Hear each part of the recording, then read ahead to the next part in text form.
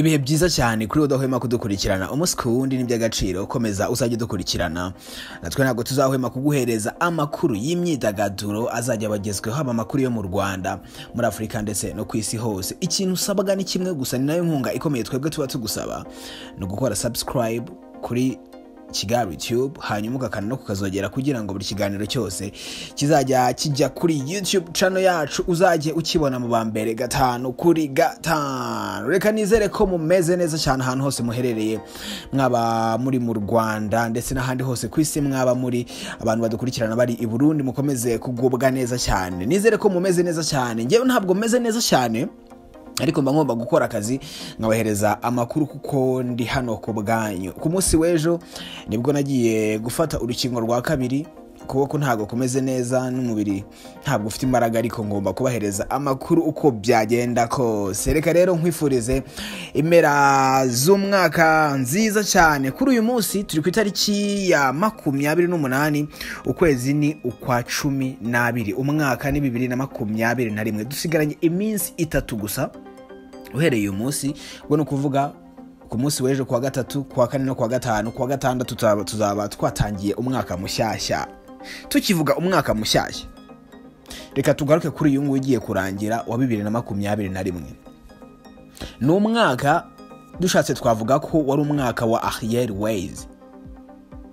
Wari umwaka wa ariel ways. Ni umuhanzikazi ukunzwe ariko tutazasiba kumva mu matwi yacu uko twabigenza kose.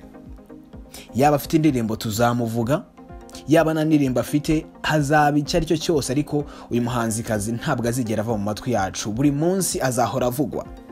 Ni umuhanzikazi uba udufite udushya twinshi cyane akaba ari nawo umuvuno yazanye wo gutuma ibintu bye bigera kure cyangwa se bimenyekana.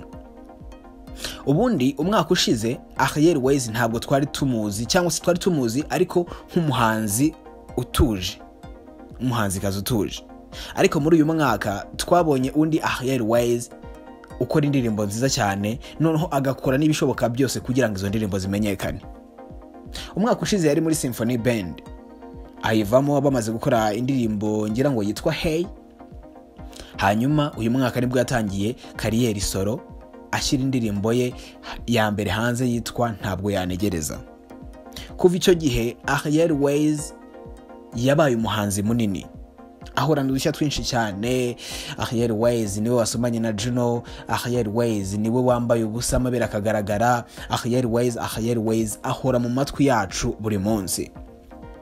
Wakwibaza ngo noneho uyu munsi ngiye kuvuga iki kuri ariel ways nandi kugaruka kuntu uyu mwaka wari uwa ariel ku rwego rwo hejuru. Akoze indirimbo zigiye zitandukanye harimo iyitwa iyo ngiyo nyine ntabwo wanegereza niyo yatangiriyeho asohora iyitwa depanage asohora iyitwa la vida loca akora mega hit cyangwa se indirimbo ya boostinze n'ubu ngubu iracyakora iracyabustinga cyane kubera ko ni indirimbo isa n'aho atari iy'igihe gitoya n'igihe kirekire cyane. Yitwa away yari ari kumwe na juno kizigenza. Akunze kumwita best friend we ariko abenshi babifata nk'aho bakundana kubera ahantu henshi bagenda bagaragara bari kumwe amafoto uburyo baba bitwaranyeho. Benshi batekereza ko bakundana ariko bo hagati yabo bitana aba best friends cyangwa se inshuti magara. Hanyuma rero ariel akora indirimbo away. Mbere yo kugira ngo isohoka isohoke nyine iyo ndirimbo away ngira ngo muribuka amashusho yagiye hanze ari gusomana na juno kizigenza bari kuri site aho ngaho ariel yari atangiye. Nyuma yaho habaye ibindi byinshi cyane barasohokanye bagaragaye bari mu, gusomana. Ibyo bintu biba trend cyane binatuma indirimbo yabo ibustinga cyane. Kuri ubu ngubu indirimbo yabo yitwa away imaze kurebwa n'abantu barenga miliyoni ebyiri n'ibihumbi magana cyenda kuri youtube. Iri hafi kuzuza miliyoni eshatu. Burya rero ntujya no kureba mu banyarwanda benshi b'abahanzi ntabwo ari abanyarwanda benshi b'abahanzi bafite indirimbo yarebwe n'abantu miliyoni zirenze eshatu cyangwa se eshatu. Ntabwo ari benshi ntabwo turagira abahanzi benshi. Cyakoze yenda kugira miliyoni abenshi bamaze kuzigira ariko kugira miliyoni irenze imwe ukagira iya kabiri ukenda no kugira iya gatatu ni ibintu bikomeye cyane. Kandi ibyo ngibyo babigezeho. Turacyagaruka kuri ariel ejo bundi ajya gushyira hanze ep ye yasohoye kava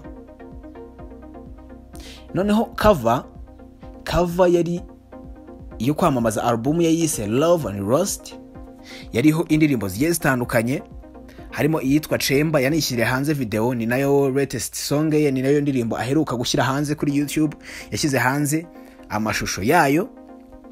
Hanyuma akora n'indi ndirimbo. Izindi ndirimbo nyine ziri kuri ep harimo iyitwa cemba nyine yamaze kukubwira nashyize hanze amavideo yayo. Ubu ngubu iri kuri youtube ye wananyunikiraho ukayireba.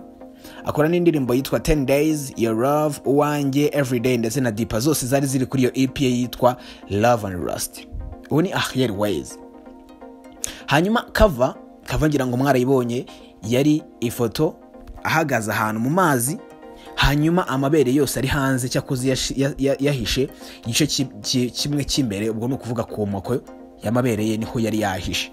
Ibyo biratrendinga cyane binatuma ep ye irebwa cyane. Kuko nk'ubu ngubu indirimbo nka your love yarafashe cyane everyday zose barazirebye kubera ko yabanje kuyikorera poromosiyo mw'ubwo buryo.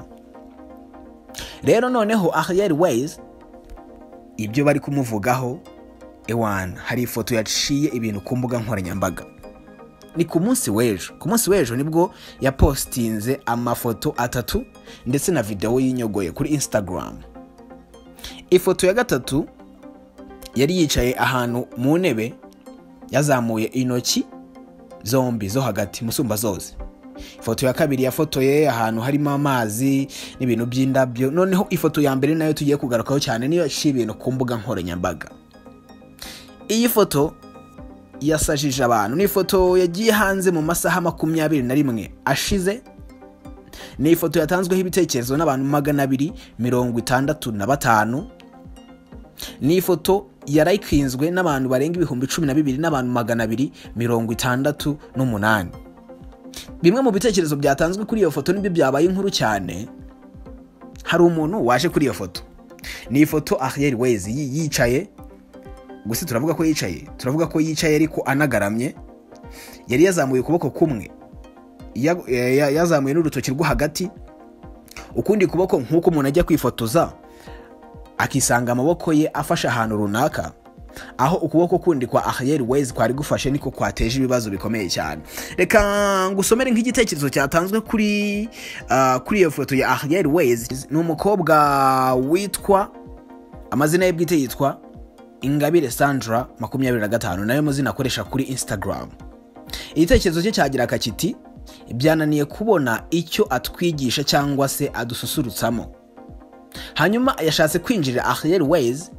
Mu minsi yashize ahier ways muri ama interview yagiye akora yagiye agaruka ku kuntu adakunda gukoresha telefone cyangwa se imbuga nkoranyambaga. Na juno yigeze kubigarukaho muri interview yahaye ikinyamakuru cyitwa inyarwanda avuga ko mu bintu adakundira ahier ways ni uko ajya amubura kuri telefone inshuro nyinshi. Rero mu minsi yashize nawe yarabitangaje ko adakunda gukoresha telefone n'imbuga nkoranyambaga muri rusange. Ariko muri ino minsi iyo ushatse kumwinjirira ahier ways ntabwo agushyiriramo imiyaga. Nyuma yo gutanga icyo gitekerezo witwa ingabire sandra yanditse ati byananiye kubona icyo atwigisha cyangwa dususurutsamo? Ahier ways yaje muri comment aramutaginga ingabire sandra makumyabiri na gatanu. Hanyuma ahier ways arandika ngo instagram yabaye ishuri rya risemuko unfollowinga ujye aho bagususurutsa. Nguwo ni ahier ways I- iyi komenti yaciye ibintu mu binyamakuru ku mbuga nkoranyambaga abantu benshi bari kugenda bayigarukaho cyane kubera ukuntu yasubije uyu mukobwa. Ndetse byiswe ishyamirana hagati y'umuhanzi ndetse n'umufana.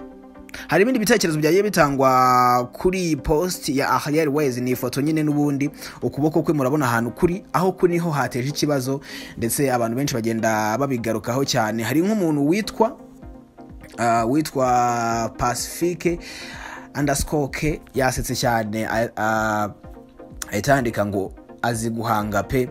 Ariko hari igitekerezo nshaka kugarukaho igitekerezo gisa naho gikomeye witwa super power rwa yanditseho ngo oh my god.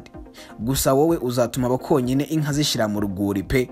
Ashyiraho udutima twinshi cyane. Hanyuma undi witwa i am stana yaje atagenga. Ahier weza arandika ngo we ubushize wafashe ku ibere uhita uritwereka tubera umwana mwiza rero ubwo ufashe no ku yanditse ku gice cy'ibanga ariko ntabwo ariko yanditse nuko ariko nshatse kubivuga uhite ukora umuti dore ni byo watumenyereje pe.